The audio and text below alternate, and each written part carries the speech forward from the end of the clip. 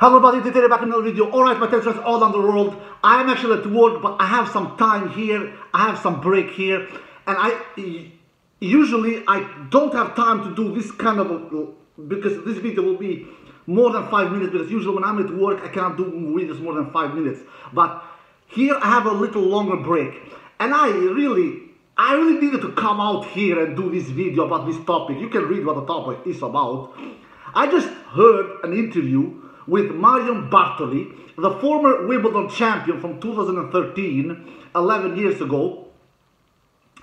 And they were talking about at Eurosport. That interview was at Eurosport, and uh, it, she was not alone. She was with uh, other Eurosport uh, people there, and they were talking about uh, about Sinner and Alcaraz.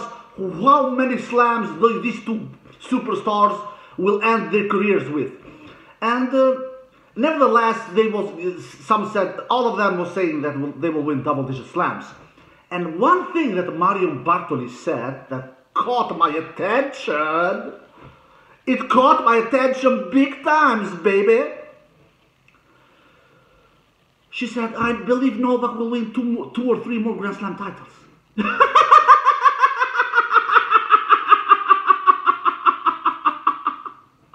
Oh my dear God, sometimes I don't know what to do, to, to laugh or to cry. In this case, I choose, I choose, I chose to laugh. I choose to laugh. I, I, I just can't, I just can't understand how these tennis analysts who have played the game on a professional level, Patrick Mouratoglou is one thing. He has never played on a professional level, what I know. Maybe has, maybe he has, but what I know he has not. But he has coached and is coaching professional tennis players.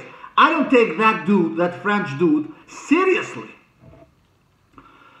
Uh, when he said that Djokovic will win 28 to 30 Grand Slam titles, he even said 30 last year. This year, at the beginning of the year, he changed it to 28 to 30 Grand Slam titles after Djokovic didn't win the Australian Open. But he continued to do horrible predictions when he said Djokovic will win two to three Grand Slam titles this year. Patrick Mouratoglou said that after the Australian Open. We know that prediction went completely out of the window and he, he got that completely wrong. Now, another French player, uh, uh, another French human being, they are, they are from the same country because Marion Bartoli is also from France, from France. She is saying Djokovic will win two to three Grand Slam titles that he has left of his career, which is not many years left in his career, at least not many years left on the top. And I can't believe that she, who, has, who knows the game, she's a Grand Slam champion. Not everybody is Grand Slam champions. She goes and says this kind of a prediction. For God's sakes, Andy Murray has won three Grand Slam titles during his whole career, which we're talking about 10 to 15 years, 15 to 20 years. During that time of, during that period of time, which is over 15 years period of time, Andy Murray was able to win three Grand Slam titles, my tennis friends all around the world. Are you understanding? Are you realizing which kind of a prediction Marion Bartoli is making when she's saying Djokovic, when he will be 38 years old next year, will win two to three more Grand Slam titles. he has passed his prime. Last peak we saw from Djokovic was 2023. I've done a video about that. That was Novak's last peak.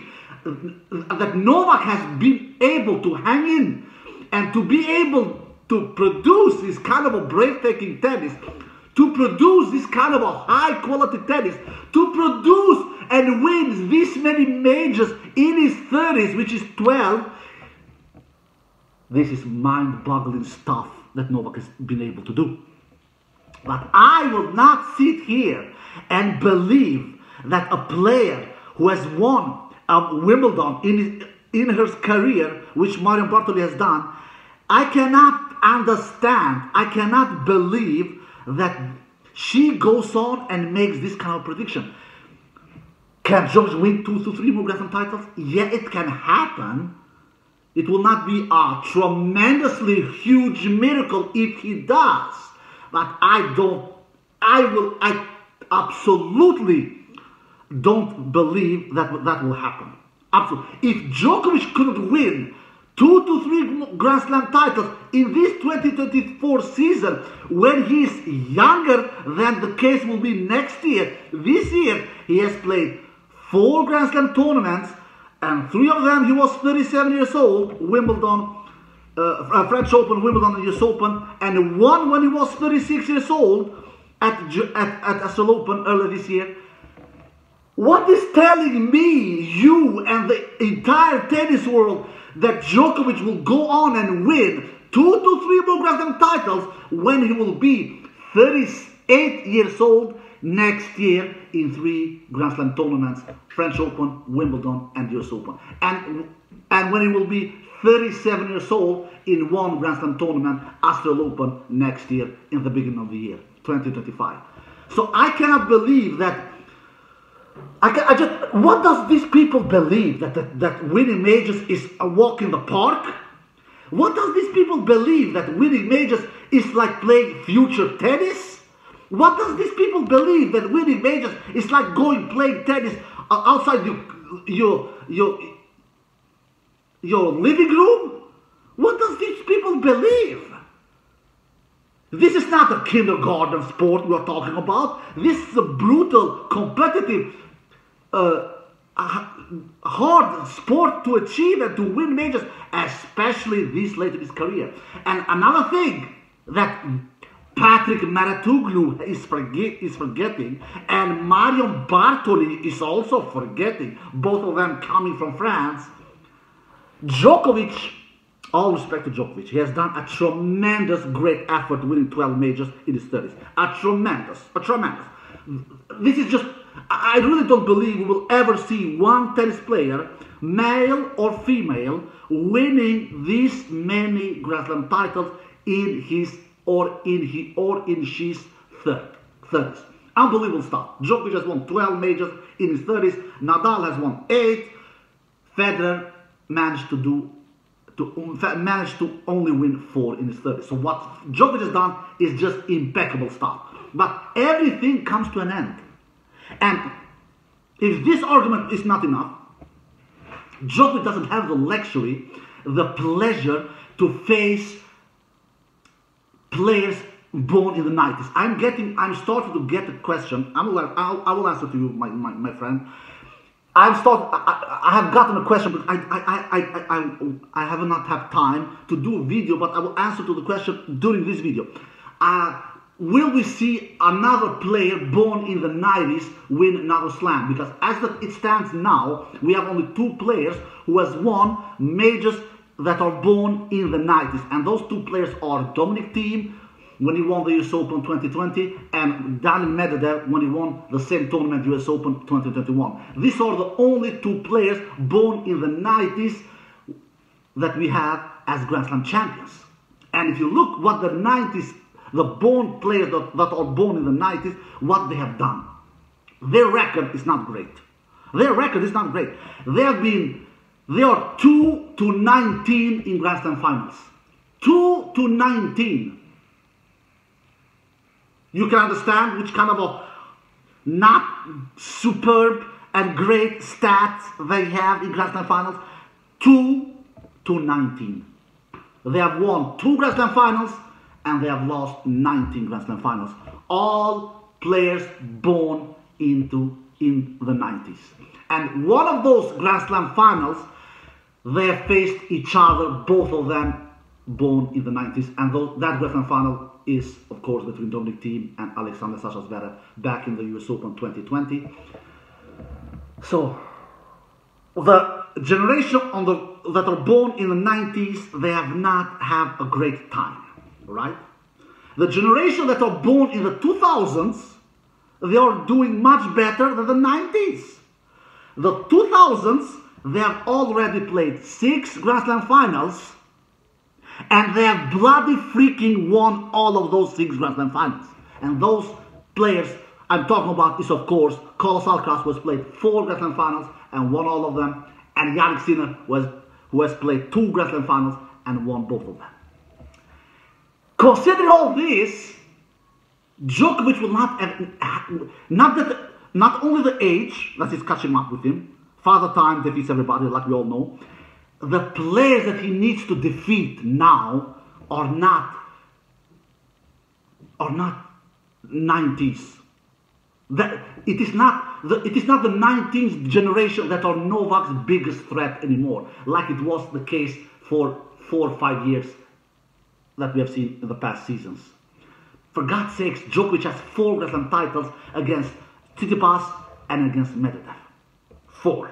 And then he had four Grand Slam titles against Kyrgios, Berrettini, Casper Ruud,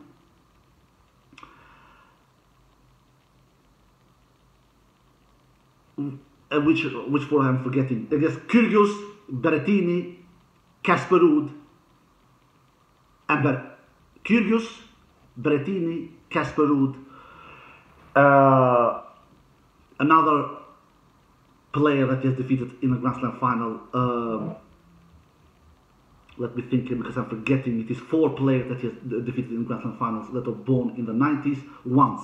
Uh, uh, defeated two times. Medvedev defeated two times. So there he has four Grand Slam titles, which he has won against the 90s players who were born in the 90s. Four. Then he has yeah, Thiem. Yeah, Dominic Yeah, that is that's it. then he has four some titles that uh, that he has defeated once that were born in the 90s. Kyrgios, Berrettini, Casper Ruud, Dominic Thiem. Four.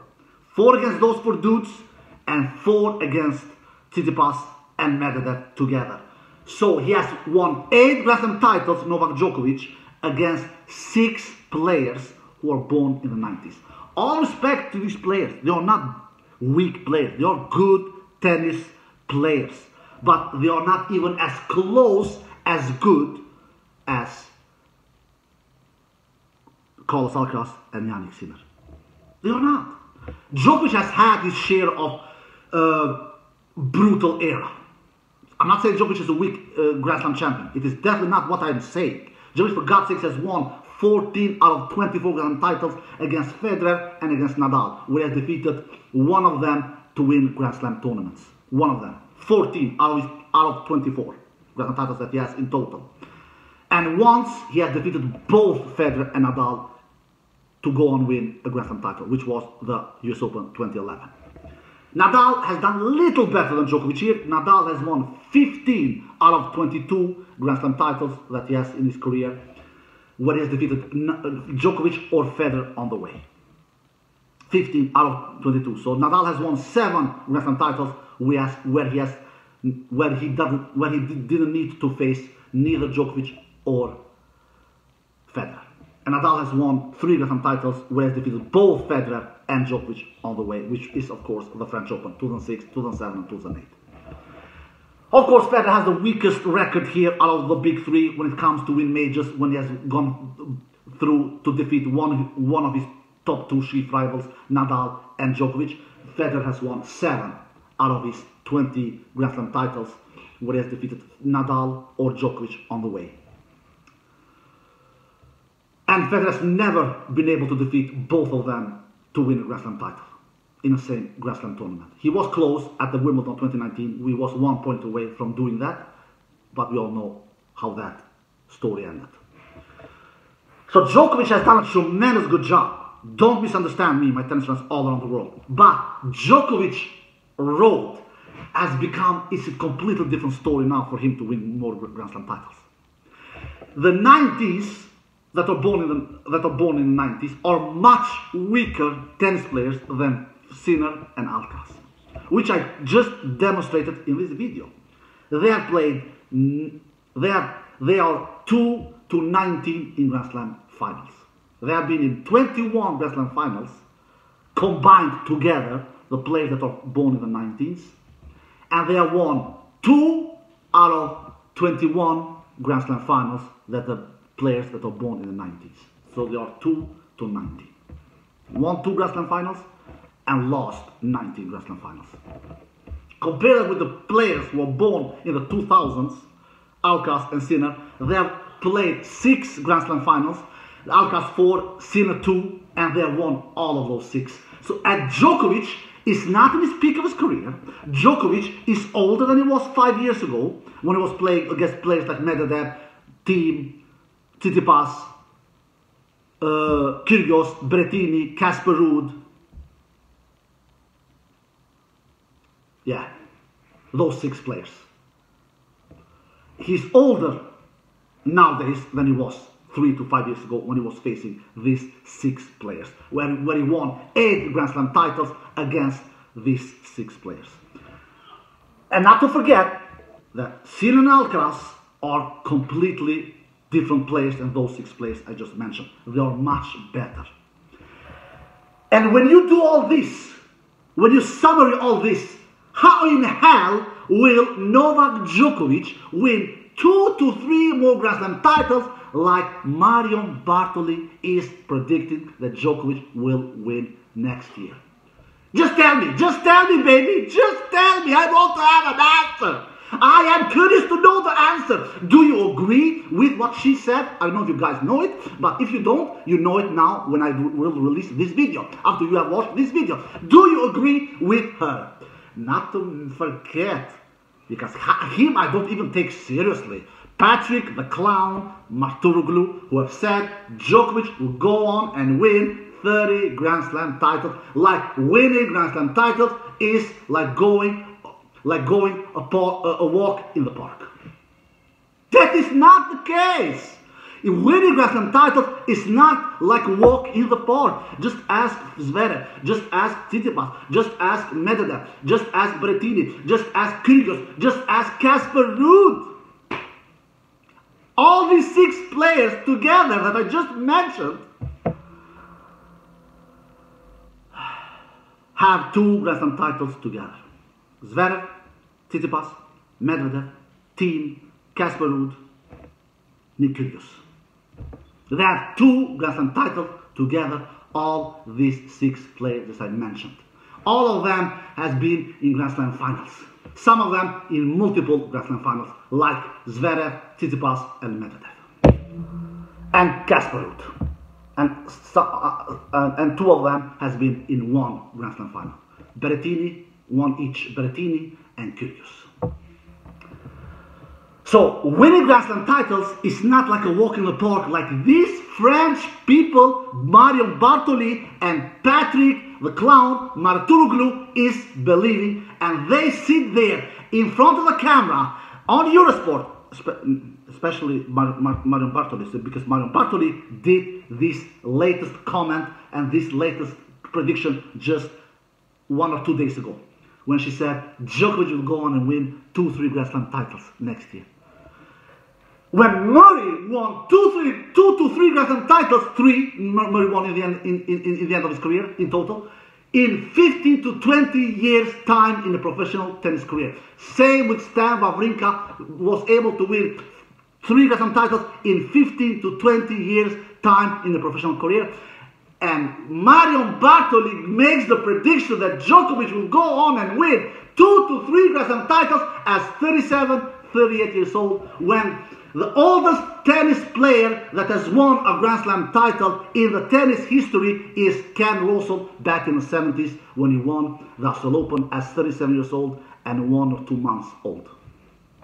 You see how rare and how difficult it is to win Grand Slam titles this old as Djokovic is. Yeah, I know Djokovic is not a regular player. He's the greatest tennis player of all time. But still, that doesn't mean that just because he's the greatest tennis player of all time, and just because he has broken all the records, more or less, he's, he's kind of a, a, a machine. Yeah, we, we, we, me, I also call him a tennis machine, tennis beast, a tennis terminator, a tennis predator, a tennis monster many times. Yeah, I do that when he does unbelievable achievement and when he, when he does great run and wins Grand Slam tournament. But in reality, he's a human being for God's sakes, like everybody else in this planet. And Djokovic will not win two to three more Grand Slam titles in the 2025 season. No matter what the clowns like Marion Bartoli and Patrick Mouratoglou is saying. If Djokovic wins one more Grand title in his career, he should be extremely, extremely happy because that is maximum, maximum what Djokovic can do in his career. Win only one more. But even that, me as a tennis analyst, Inter Interi is predicting that Djokovic will not win even that. All the reasons what I just said all about and what, I demonstrated in everything in this video. Alright guys, I hope you enjoyed the video. If you did, give a thumbs up, subscribe, and peace.